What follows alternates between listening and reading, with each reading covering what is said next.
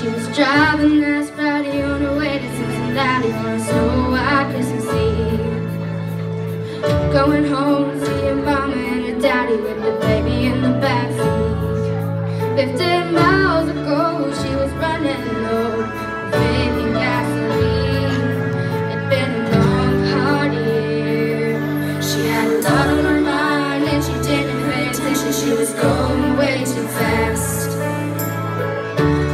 she knew when she was spinning on a thin black sheet of glass. She saw both the lies flash before her eyes. She didn't even have time to cry, she was so scared. She threw her hands up in the air. Jesus.